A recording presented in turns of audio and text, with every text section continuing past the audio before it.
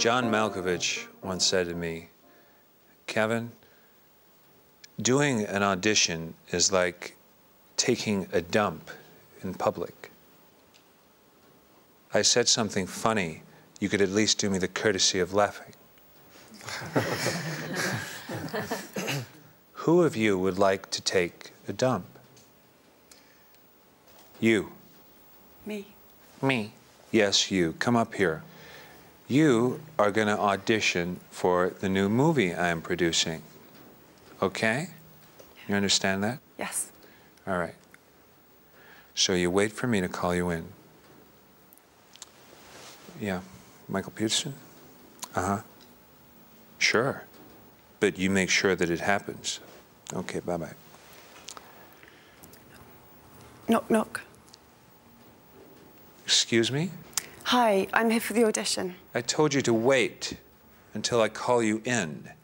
Sorry. Look into the camera and state your name and agent.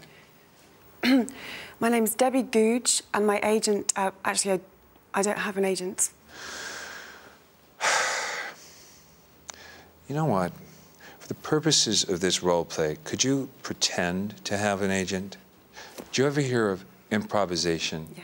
Let's do that now. That's kind of what we're doing now. So, all right.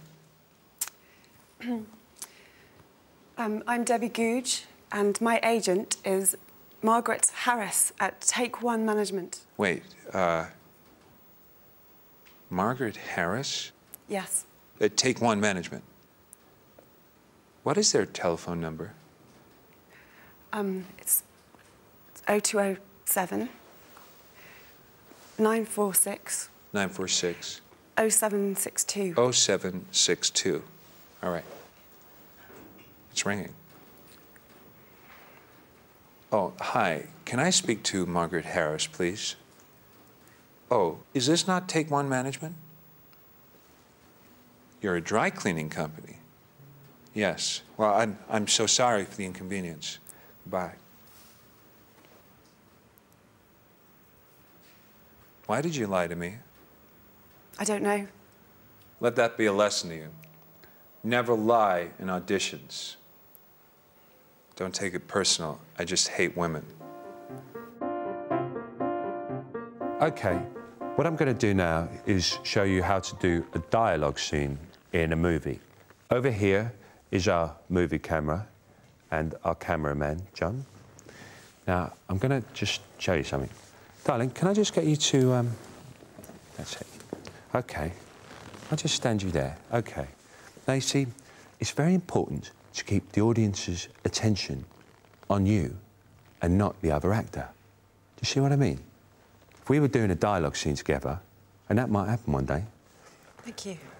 what the director would do, he would shoot the whole conversation on one actor. I usually insist on going first. they turn the whole crew around, the camera, the lighting, everything. John, can we move the, uh, what's name? They turn it all around, so everything's now facing the other way. If you look at the monitor there, no, not you, love. What I like to do is to step into the back of the other person's shot. That way, you're still fresh in the audience's memory. You see what I mean? Look, I'll show you this technique in uh, a clip from a movie I did with a very good friend of mine, Bob Hoskins. Oh, you can look now. Listen, George, I know you've got it. I could see it in your face. I'm sorry, I don't know what you're going on about. I ain't got nothing. I've been as clean as a whistle since I come out of Slammer. I know you're lying to me, George. So why don't you be a good little boy and tell me where you've hidden the painting? You're barking out the wrong tree. I ain't got no painting. I'll see you around. Where have you hidden the Mona Lisa, George? George! Where have you hidden the Mona Lisa? Can anybody tell me what is the hardest thing to do in acting? What is the hardest thing to do? Is it dying? It's a good answer, but no. Is it playing a paedophile? Yeah, that's pretty tough. Uh, that wasn't what I was thinking, but uh, it's not the answer. Pretending to ski? You know, pretending to ski is actually uh, pretty easy. Um, the hardest thing to do in acting is to cry. So, um, how do you make it look so realistic? Well, you know, all you have to do is to think of a sad time. When I was a kid, my, uh, my papa bought me uh, an ant farm. Oh, I love those ants. I gave them all names. Uh, Blackie, Shiny, uh, William. But there was one little ant who only had five legs, and I call him Limpy. Anyway, one day uh, I came home from school, and uh, my papa said to me, um, Al, I'm afraid that Limpy has been diagnosed with cancer. Oh boy, here I go. you see, it's working already. uh, okay. Wow, wow, wow, wow, wow, wow, wow, wow. Right. Let me show you the technique in practice in a movie clip. They got me.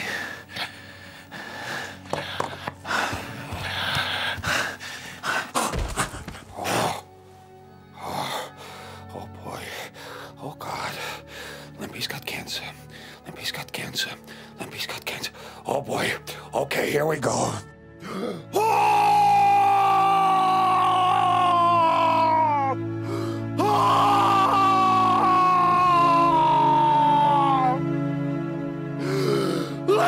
Cancer!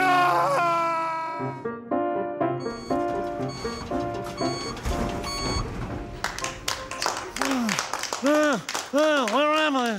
Where am I? Uh, what did I do?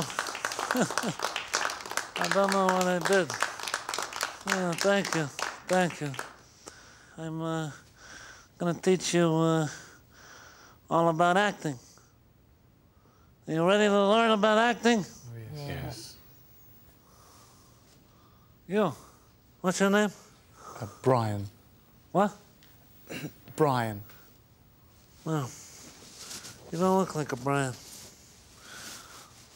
You don't look like a Brian to me. See, what do you look like? Stand up. Stand up. Hold your chin up like a man. You look more like, uh, Mr. McMacintosh. Yeah. Thank you, Mr. Brando. All right, Mr. McMacintosh. What made you ever think that you could become an actor? Well, when, when I was at school, I used to do impersonations of the teachers and showing off and that sort of thing. And then one day, uh, we were taken to London to see Shakespeare, Love's Labour's Lost. And I just, I looked up and I, and I thought, you know, that's what I want to do. I want to be up there with... Stop talking.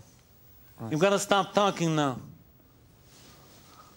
Uh, I'm just reading this document from the World Health Organization. Makes very interesting reading. And uh, yeah. in the time that it took you to relate your little uh, story or tale or whatever you want to call it, uh, reminiscence. 22 people have died. 22 people. They're dead. Oh, well, well, thirsty. Well, I'm thirsty. Well, well,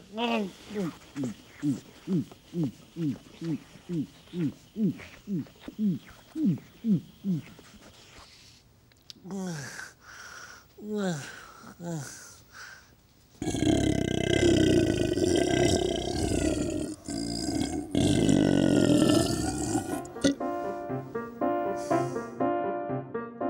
Hello, everybody. Um, I'm Rafe. Um, um, and, and, and, and, and you are? Um, Catherine. And uh, Catherine. Uh, um, Catherine, yes. Lovely name. I, I, Catherine, actually. What? Oh, what, you prefer Catherine? Yeah. Yeah, some people call me Ralph. Some people call me Ralph, yes. I mean, it's, you know, it's very, I, I said it was very straightforward, you know, R-A-L-P-H, Rafe, you know, as it's spelt. Right, we're going to talk about learning your lines now, learning your lines, right? Right. Um, um, um, um, right. That's it. Uh, now then, learning your lines. How do you... Uh, Kathy, what is it? Kathy, wasn't it? Catherine. Catherine, oh, yes, much nicer name, yes. Yes, yes, yes, yes. Catherine Zeta-Jones, of course. Katharine Hepburn. Yes, yes, yes. Catherine of Aragon. Uh, Catherine Aniston from Friends, of course. Oh, it's a lovely name, isn't it? Yes, yes uh, you are very lovely. Mm. Yes. So, so what do you do, Catherine, when you learn your lines? What do, what do you, um, what do you do? Do you sit and practice them at home with your husband? Do you? No, I'm not married. Oh, really? Really? Oh, oh, oh, interesting. Boyfriend? No. Oh, don't have a boyfriend? Oh, oh. Girlfriend? No. no, no, no, no, of course not. No, no, it's very stupid of me to even, and, and I, I, I apologise for the, um, what are you, um, what are you doing after the, after the, the um... Tonight? Yes. Um, I'm going to see Titus Andronicus. Oh, really? Oh, oh. Got a new LP out, have they? Um, it's Shakespeare. Oh, oh yes, of course. Oh, yes, of course, Shakespeare. Yes, of course, Shakespeare. Yes, yes the, the, the merchant of um, and the, the, the two gentlemen of um, um, um, um the uh, A Midsummer Nights. Um, um, yes, and the uh, the one with the um, the, the coloured fella in it. You know, the um, what's it called? Um, Othello. Oh, hello to you too. Would you mind? I'm talking to Kathy. The one with the. Uh... I have a question for you. Who's your favorite actor? Come on. Everybody's got a favorite actor. Come on. Who's your favorite actor? Come on, don't be shy. You don't have to say me. Al Pacino. Why not me? Al Pacino, right.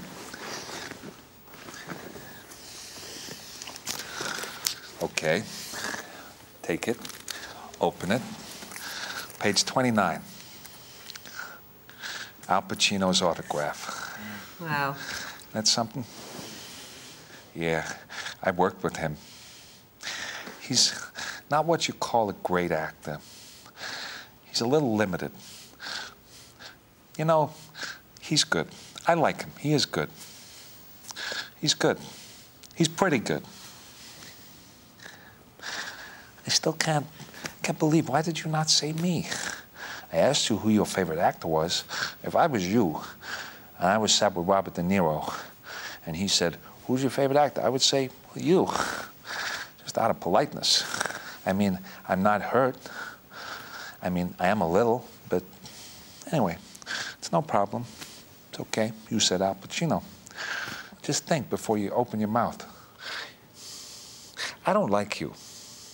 It's very important to make a good first impression. You only get one chance to do that. this isn't funny. Okay, Brian, let's see if you can be a man for a change. We're going to do an audition right now. I'm going to be the casting director. You're going to audition for me. All right? Come on. Let's go. so, uh, what are you going to do for us, Brian? Uh, I'm going to be doing Algernon from The Importance of Being Earnest. Great. How original. I've introduced you to everyone. Wait, wait, wait, wait, wait. Sorry. What are you doing? Wait for me to say begin. Don't you have any manners?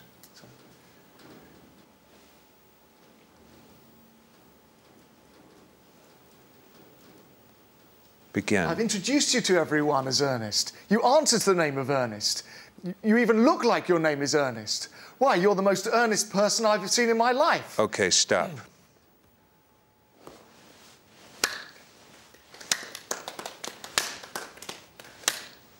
Congratulations, Brian. That was without a doubt the worst audition ever witnessed by man. Your choice of speech was poor, your delivery was mechanical, your timing was a joke. I felt sick just listening to it. Look at me, Brian. You are no hope, no future, no talent piece of crap, and you deserve to die. Is the kind of thing they might say to you at an audition. So you need to be ready to deal with that. You can go sit down now. Okay, so Who wants to go next? Uh, Mr. Brando, I hope you don't mind me asking. I was just wondering how you go about learning your lines. I never learn lines. It's a waste of time. What I do is I have somebody write my lines on big cue cards. Some people call them idiot boards, although I am not an idiot. and the guy holds them off camera so I can read them, like I have over there. This is my nephew. I don't know why I keep him in employment. His handwriting is so bad. I can't. I can't read what it says. Hold it higher. What's the matter with you, Daffy Goon? I'll have words with you later. Ah, you're a good kid. Ah, I'm bored. I'm bored. Come dance for me. Dance. Come on. Do the dance for me. No, not that one, the other one. That's it.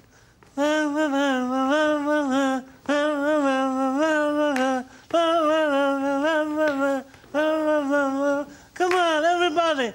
Come on. It's a celebration.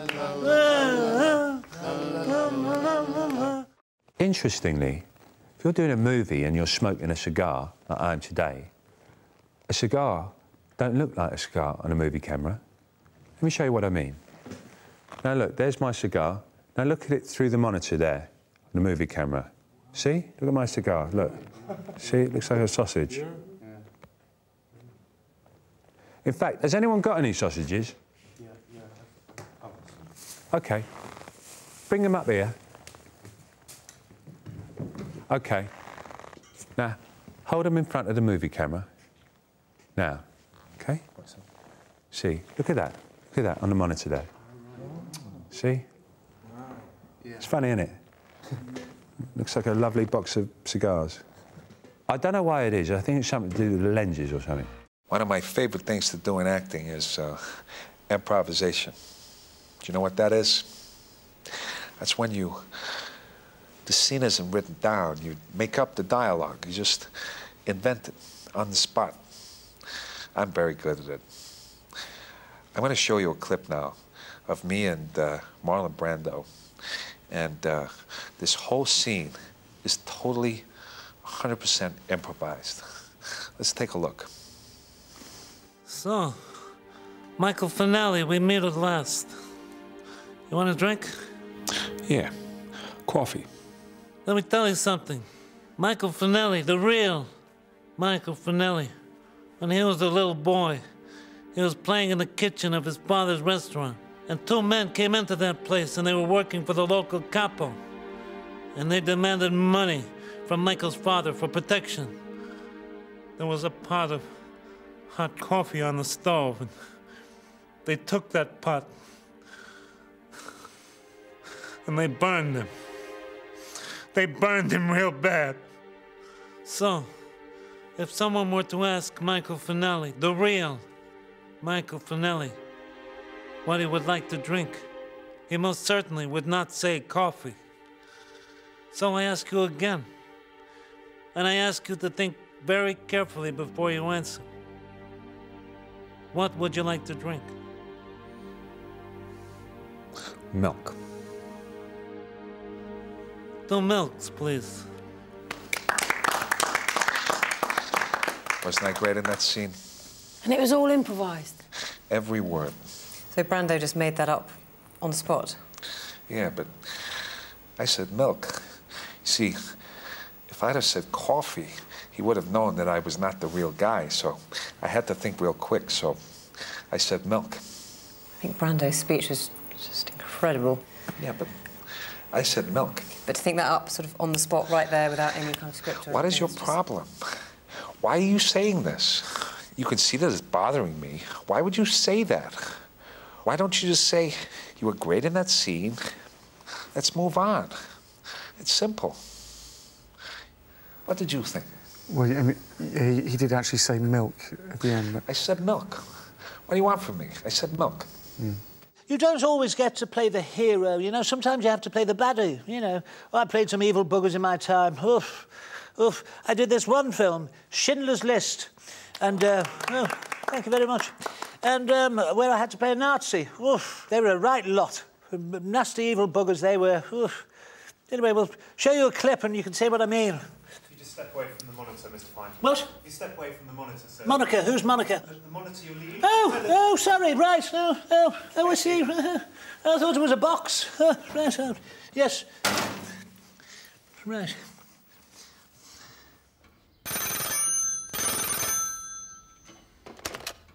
Hello?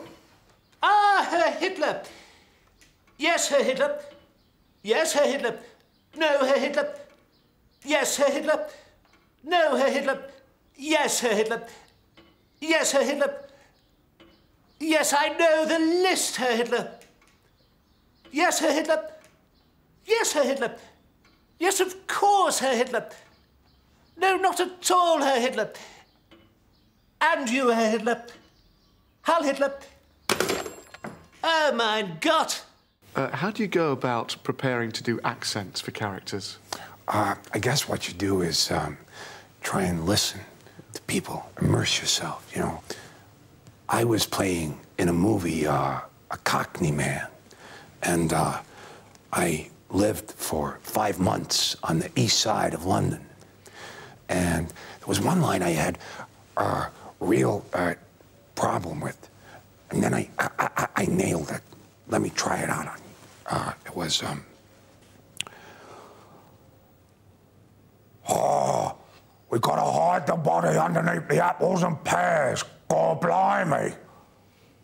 Was it, I think? How did that sound? That, that's uh, uncanny. Really? Uh, it's just like my granddad. Uh, he, he died recently. Oh, I'm so sorry for your loss. Thank you. Uh, but he lived his whole life in Hackney, and that sounded just like him. Wow. Wow. What is your name? Uh, Brian. Brian. Oh, hello, Brian. It's your granddad. Oh, come and give your granddad a kiss. Oh, oh, mate. Oh.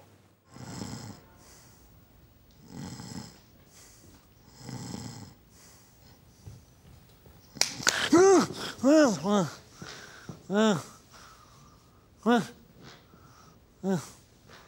You, at the back, in the middle. Yes, you.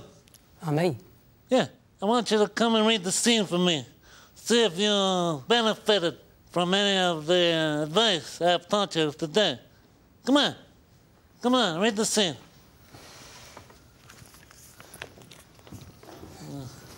Cav, can I have a chair?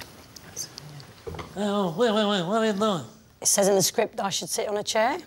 It says in the script you should sit on a chair. Yeah. Sit down. Now, come here. If it said in the script to go put your head in the oven, would you do that? And bake your head into a pie, a head pie? Would you do that? Look at me. Look at me.